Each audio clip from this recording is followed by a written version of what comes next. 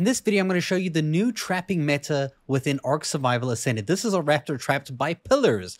Pillars are going to be a huge, cheap way to trap almost anything within the game.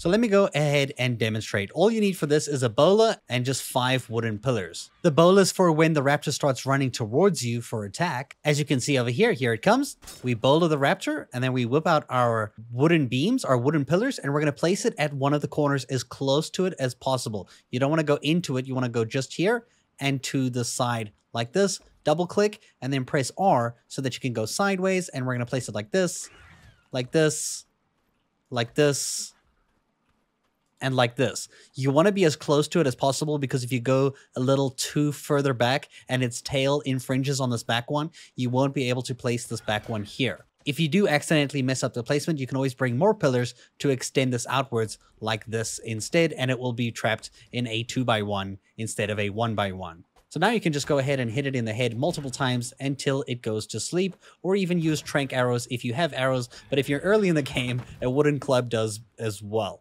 a wooden club works too, and you can put it to sleep. And all you got to do is put meat, raw meat in its inventory, and then you'll go and tame the raptor. What's nice about this game too, you can also go to this pillar over here and pick it up, and it will pick up all five of them at once, instead of you having to pick up every single individual one.